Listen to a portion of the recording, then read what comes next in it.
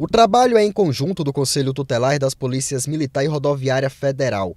Primeiro, os motoristas são abordados e lembrados sobre o Dia Nacional de Combate ao Abuso e Exploração Sexual de Crianças e Adolescentes. Muito importante. O trabalho, né? A gente, a gente ficar mais atento, entendeu? Achei bom, muito é. importante.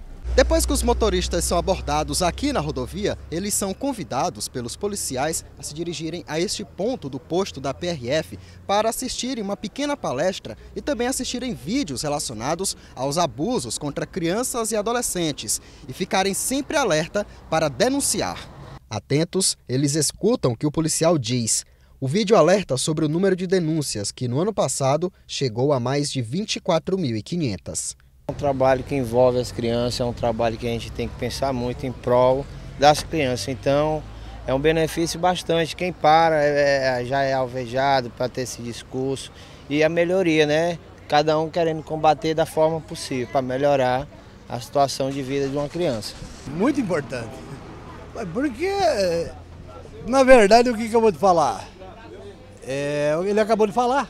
Eu vou gostar da minha filha? Então, evitamos, né? Como eles estão sempre nas rodovias, o foco da ação é o caminhoneiro. Nilson é de Fortaleza e roda todo o Brasil. O profissional reservou um tempinho da viagem para escutar que exploração sexual de crianças e adolescentes é crime e tem pena de 1 a 12 anos de prisão. Teria que fazer quase constantemente. A gente vê muito essas coisas de quase direto na estrada, né? Então acho que tem que se ficar mais. Acho que talvez diminui, né? De acordo com a PRF, o número de ocorrências de crianças vítimas no Piauí em 2013 foi de 7. Já em 2014 e até abril deste ano, esse número é zero. As ocorrências de adolescentes vítimas de abuso e exploração sexual em 2013 foram nove. Em 2014, uma ocorrência. E nos quatro primeiros meses deste ano foram quatro, sendo três exploradas sexualmente e um adolescente abandonado. O Dia Nacional ele é, lembra um caso trágico que ocorreu na cidade de Vitória em 1973.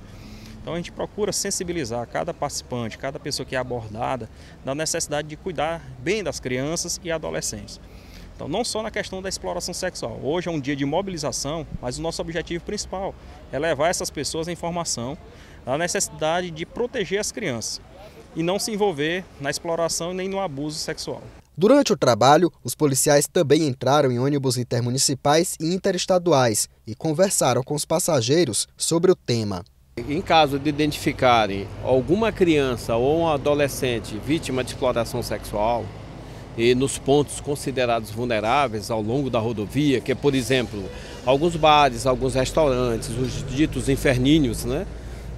Que eles possam então ter em contato, ligar para o Disque 100, é um número gratuito, a pessoa liga, não é preciso se identificar e conta o que está acontecendo e esse Disque 100 faz uma triagem e, e encaminha, caso a caso, a criança ao, ou ao Conselho Tutelar, ou ao CREAS, ou às delegacias especializadas, enfim, a quem é quem de direito naquela situação. Quando há registro de abuso, o Conselho Tutelar entra no caso.